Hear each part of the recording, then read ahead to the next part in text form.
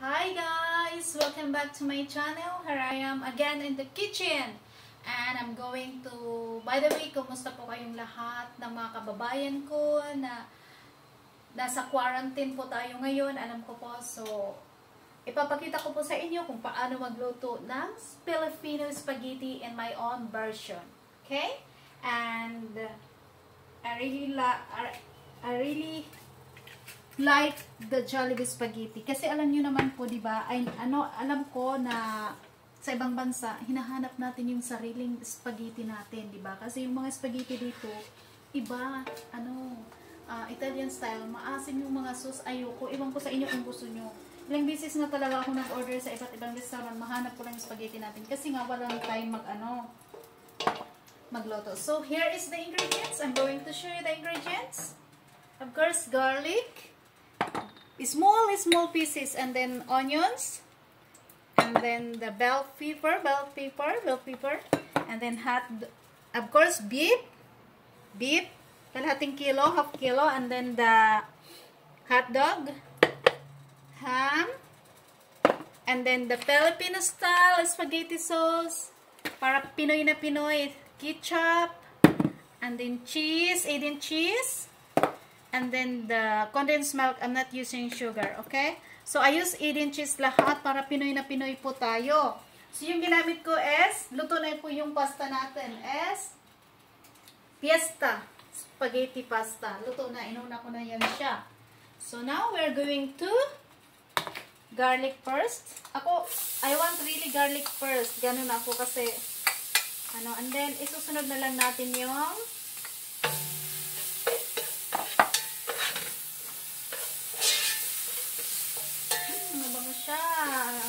tayo maka-open ng open naman yung door kasi ayoko yung tunog. Hindi niyo ako maririnig. So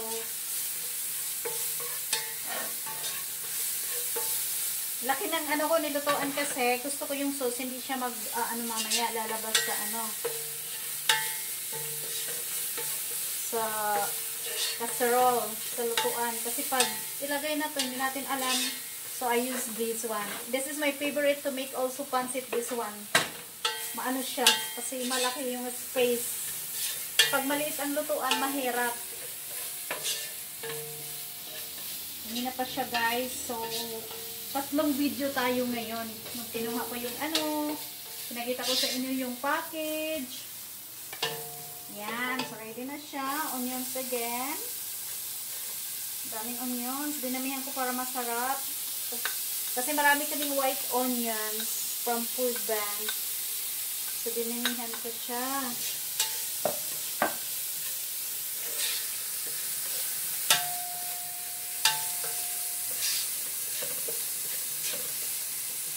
Diba guys, pag uh, spaghetti natin, ewan ko lang, kahit ako, kahit hindi ako, hindi na ako maliit, hindi ako bata, talagang favorite ko yung spaghetti with fried chicken talaga kainin. Tsaka yung lasang Jollibee talaga ang hinahanap ko. So, kaya I, I nag-add ako ng ham na talagang yung gusto ko yun, di, ba yung ham ng spaghetti sa Jollibee, yung para siyang natutunaw sa, sa spaghetti na hindi ano. Kaya hindi ko siya, I did not fry this, hindi ko na rin siya prenito para yung sauce mag-absorb. Kasi pag iprito natin, parang hindi na nag-absorb yung sauce doon sa ano, hotdog tsaka sa ham. Ano ba yan? Nalagpot. Nalagpot. Ay! Nalagpot guys. Waray. That is waray language. Kasi po marunong ako magwaray. Marunong din po ako magbisaya.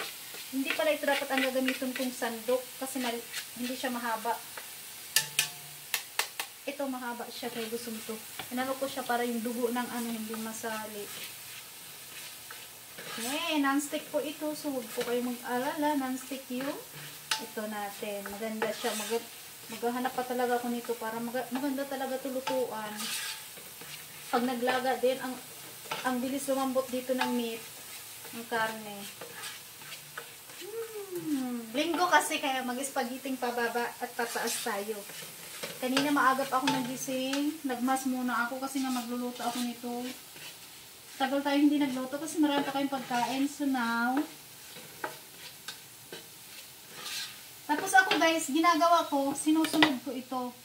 hindi later kasi wala namang spaghetti na ito na sa Jollibee, di ba? Hindi ito ang nakikita natin. Ako lang, on version ko lang yung nasa inyo.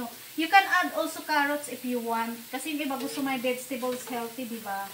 Ako ayoko. Gusto ko natutunaw siya, kaya ginigisa ko siya. Igisa ng maigi. Pwede na to ilagay.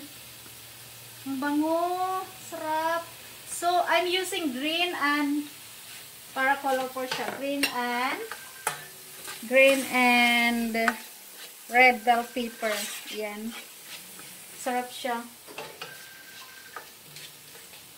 May tumatawag kay my love. Yan. Kasi maraming tumatawag kasi nga naka-quarantine tayo. So, walang mga ginagawa ang mga kamag-anak niya. Doon na nga yan labian kasi ano yan. Naglalabahan yan.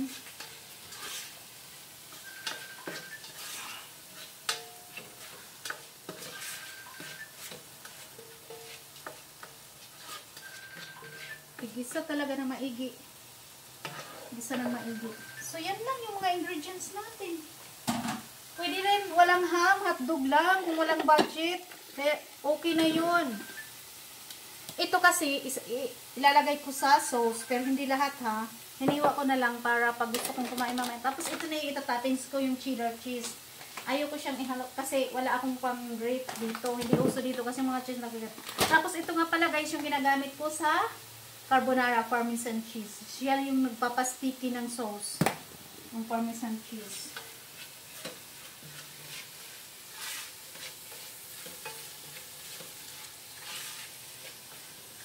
Lagyan ko siya ng oil kaya, konti.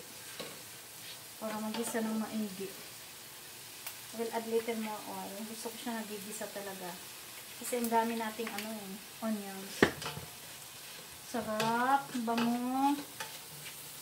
Hmm, mamaya magkakainan tayo. Linggo ngayon, kaya special food tayo guys. Nagkikrib na ako nito last week pa, kaya lang marami pa kaming pagkain.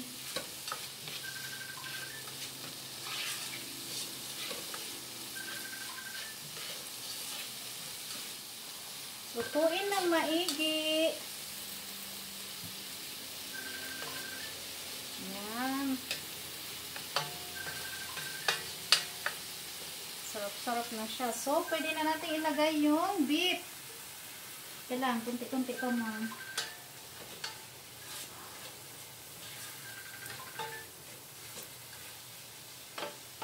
Natin ilagay ang beef.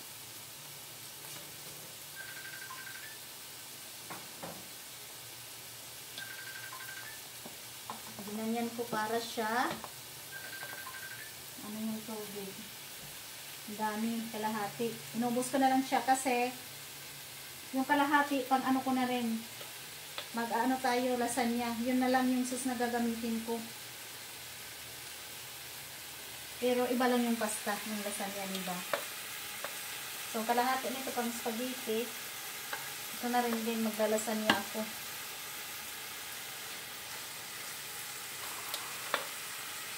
Yan, hinugasan ko siya guys ha. Kaya siya nagtubig kasi hinugasan ko talaga. Tapos, inano ko sa strainer. Yan.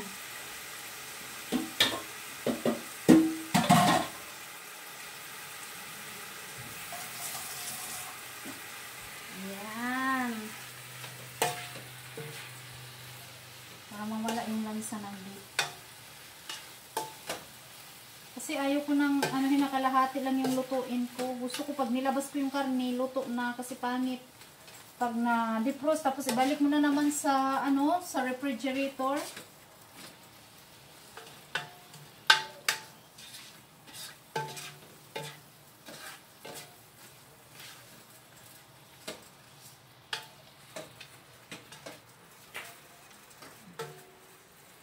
Then, salt and pepper to test. Eh, ano na natin siya ng salt, tsaka black pepper. Ayan ako dito pang, pang salt ito, tsaka pang, para masarap ng black pepper. Hmm, masarap. Ito guys, yung binibili namin black pepper. yung brand. Ito yung number one brand ng water or ano pa sa US. Kirkland na brand. Tapos, salt, test. Para maigasan na yung ano natin. Huwag muna bigla-biglain na muna ang salt. Ayan na, nagwo-watery siya. Kasi hinugasan ko nga siya. Tatanggalin natin yan. Yung sabaw niya. Kailangan lutuin natin ng maigi ang beef.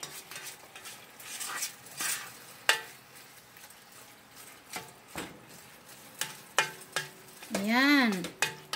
So, habang hinihintay natin kumulo yan at lulutuin muna natin yan, is, tatakpan muna natin yan.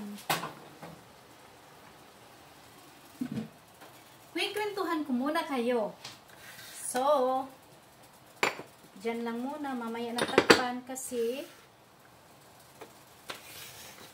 ito, dalawang klase ito guys. Ah, uh, merong sweet style. So, yung kinuha ko talaga, nag sweet style muna, doon nung bumili ako.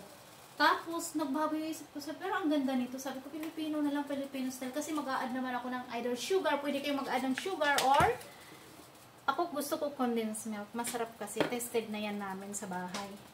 Tapos, ano, yung lag, tapos ito talaga yung brand na ginagamit namin. Tested na rin yan. Pero, ito talaga kasi minsan pwede naman yung Del Monte din, pero ewan natin, basta banana ketchup, mga Pilipino, mga Pilipino mahilig talaga dito. So, so sa prito, yung pritong isda, lalo na yung mga kids, mahilig nito banana ketchup. Minsan, inuulam natin yan, diba? So, yun. Ito, itatry ko. First time akong gumamit nito na hindi sweet style. Kasi nga sinabi ko, gagamit naman ako ng condensed milk. Ito lang yung pang, ano ka, para sweet Di ba yung spaghetti namin, natin manamis-namis? So, ito, lalagay ako ng konti lang, di ba? Ayan na. Masarap-sarap yung spaghetti natin. Shout out kay Joy Salon. Si Joy talaga nag-ano na. Salamat, Joy, sa pag-ano. Tapos sa, ano, yung may classmates ako sa, nung college, sa Little Norma. Uh, ngayon may band na siya sa Cebu. Ah, uh, nagustuhan ko kasi yung ano niya, honesty niya na dati ano siya, tapos ngayon talaga sinabi mo sa akin, malandi na siya. So, shout out to Blitz Band and Cebu. Classmate ko po siya sa college, sa Leyte Normal University in Tacloban City. So, actually, hindi ko siya, dapat isa shout out dito sa cooking, pero gusto ko lang ulitin na lang next time din ang pag-shout out sa kanya. Kasi, baka hindi pa ako makabidyo ulit after nito sa fishing na kami magbi-video. So, shout out ko na lang siya ngayon. Sarap ng amoy guys. Ang sarap kainin kahit giniling pa lang. Magluluto rin ako ng giniling na beef or, or pork. Kasi masarap. Relyenong ano. Sarap ng bango ng amoy. Daming ano. Sarap. Ganun talaga guys. Maraming beef masarap. Pag spaghetti talaga guys, beef ang gamitin nyo. Kasi masarap.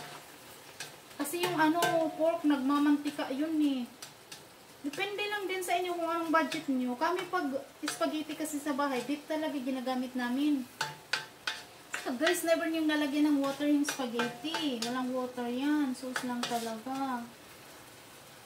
Yun ang magpapasarap. Yung ano,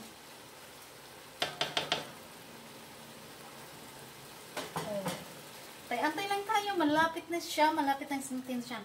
So, ang dapat magpa-fried chicken si Myla pero it's it's too much work na. Sabi ko, bili na lang kung bibili kami sa Popeyes or sa KFC kasi yung favorite ko, Popeyes na ngayon. Pero kasi ang malapit KFC kaya KFC. So, maybe ito na lang muna ang ipapartner ko. Mag-garlic bread tayo. Ito toast ko siya. Lalagyan ko siya ng butter or margarine. Half margarine, half butter din yung gagawin ko. Tapos, lalagyan ko siya ng uh, garlic powder, then uh, parsley in the top. Yun na lang ipapartner natin mamaya. Gutom na ako guys. Magugutom na naman kayo. Mag-eating portion na lang tayo mamaya. Okay? Halalambutin lang natin ito. Then isusunod na natin ito. Then isusunod na ito. Then isusunod na natin yung sauce. Last ko ilalagay yung sauce para maano muna siya ma at least makook naman siya ng konti yung ano O, diba? Ang ganda ng weather today. So, ang dami natin, kahapon busy ako kasi hinahanap ko talaga yung earrings ko na pearl. Nahanap ko, hindi ko pa rin talaga mahanap matandaan. Mahahanap ko na lang yun, matatandaan ko na lang. Ang mahal nung sa ko. Kasi may ternong ano yun, kwintas. Yung kwintas, naalala ko, gusto kong suotin. Hala, sabi ko, nasaan na yung earrings nito? Nandun yung necklace. Hindi ko makita kasi pag naka-white ako sa work, sinusuot ko yon Yung pearl na ano, hindi ako nag-gold earrings. So, katulad nito, naka-ano ako, ganun ako din sa work Mahilig ako nito guys, baka na-observan yung kulay na to. Pero iba-iba yan, aero to. Mahilig, mahilig ako sa ganitong color. Kasi, di ba ngayon summer na mainit? So, if you wear, nagsuot ka nito, parang it's cold. Parang malamig tingnan, malamig anuhin. Tapos white, ganon. Pag summer dito, ganon ang mga suot, ang kulay. Pag nag-red ka, mainit. Pag nag-black ka, ang init pag summer. So, like, yung mga kulay-kulay dito, like uh, maroon is Summer na yan. Tapos yung dark green, mga pang winter na yan. Hindi summer, sorry. Pang winter na yan. Tapos yung red, ganon, mga black, pang winter na kulay na yan. So, ayan na. Charan-charan. Sarap naman. Ituin lang natin maigi guys ha. Pwede na natin ilagay si hotdog at si ham. Para maluto din sila. Mm. Ganun lang guys. Lutuin na natin mabuti. Ang dami na, di ba? Marami talaga ang kalahating kilo. Isang pack pala ng hotdog. Ilalagay ko mamaya sa description ko doon. Okay?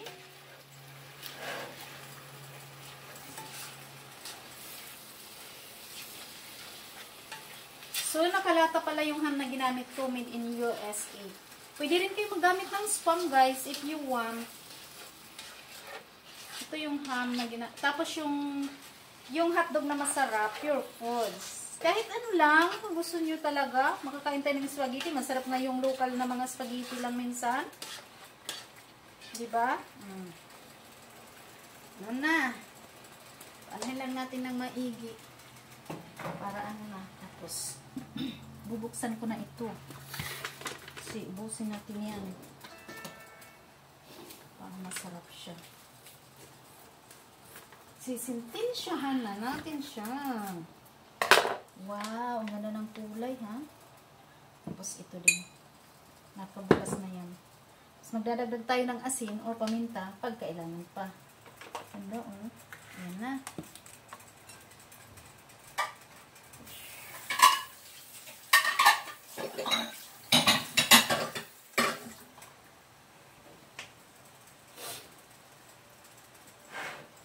Maya konti, paanuhin muna natin. Antay-antay muna tayo guys.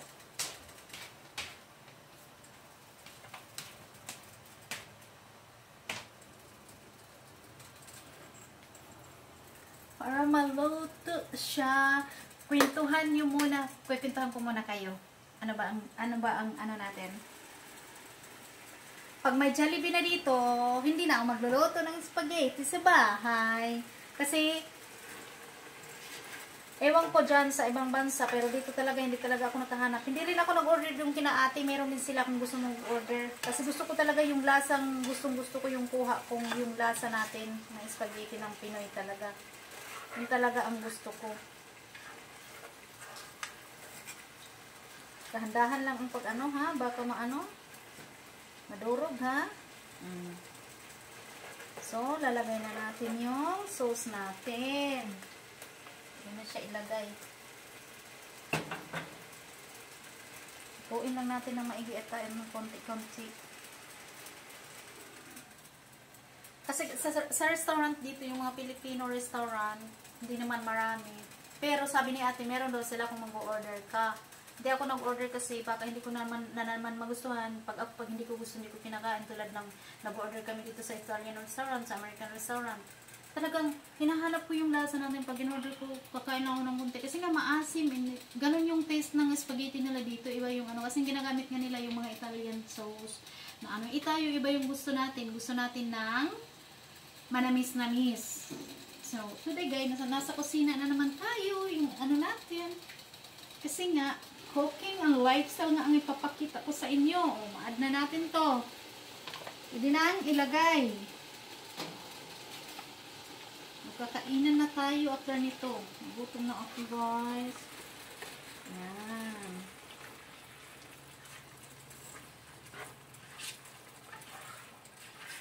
Andahan. Busin na natin kasi marami siya. Hmm. Tama lang yan. So, kalahating pasta lang yung ginamit ko ha. Yung isang pasta, 1 kilo pasta, half lang yung niloto ko kasi tandaan nyo, pwede kayong mag-keep ng sauce. Yung pasta, pwede kayong hindi magluto ng maramihan. O kasi plano ko dito, ilalasanya ko. Kasi yung lasanya, nabit-ibibit ko yun. Ito na lang yung sauce na gagamitin ko. Pareho lang yung, kaya lang mas maraming cheesy yung lasanya. Tapos ibibit mo lang naman yun. Ayan. Ayan. Lagyan natin ng ketchup. Pero pag ketchup, hindi ko lang ubusin guys yung ketchup. Kasi, ayoko nang masyadong matamis. Okay? Kalahati lang lagay natin. Hmm? Yan, kalahati na siya. I-ano ko to, iulam sa pritong isda. Prito ako ng isda bukas.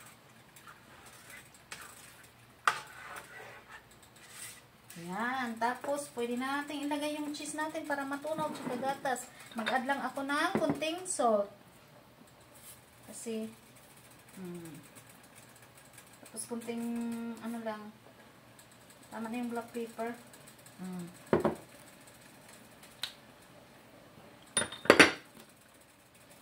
I-add na natin yung cheese natin.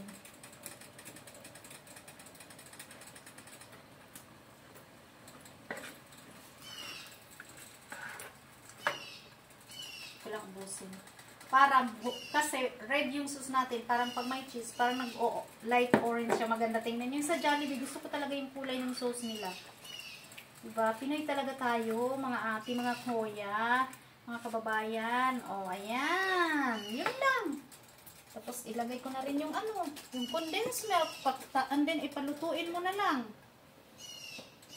I-ano na lang, i-really cook na lang. Mm siya magkasya. Kailangan ko yung ano spoon. O, oh, diba? Ganda. Sarap! Sarap, sarap. Tika lang po ako ng spoon. Where is my small spoon? Yun.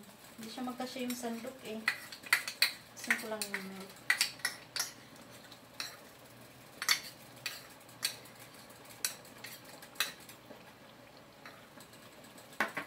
Yun. Yung spaghetti, yung pinakita ko talaga sa inyo, yung pagluto ng sus kung paano.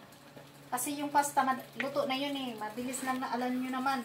Tsaka yung pasta, al dente ha, hindi overcook. Kasi pag overcook, pangit, hindi masarap. Dikit-dikit yan kapag ano. So, al dente.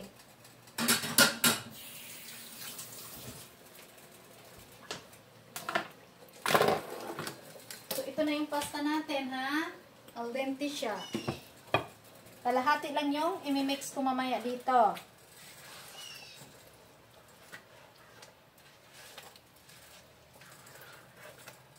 Yan, para matunaw yung cheese niya. Tikman natin ang lasa. Kasi, alam ko na yan. Hmm. Tama lang talaga na malaki ang ginamit ko sa pagluluto. Kasi, oh, tingnan mo, kalahati, naging kalahati.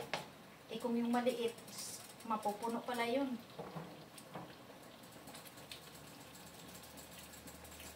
Kuhang ko sa ang lasa ng Jollibee.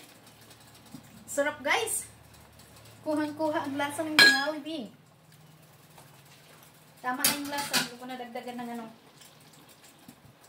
Okay guys, see you maya-maya na lang sa eating portion na natin, okay? Bye muna ngayon. Mag-eating portion tayo mamaya. Bye! Please subscribe and like. Kung hindi pa po kayo nakaka-subscribe, comment lang po kayo kung anong gusto nyong lutuin ko next time. At kung may mga tanong po kayo. At saka po, ano, pa, ano naman po ng button kung gusto nyo ma-notified sa let new videos ko po. Thank you! Ingat po kayong lahat. Stay safe and stay healthy. Bye!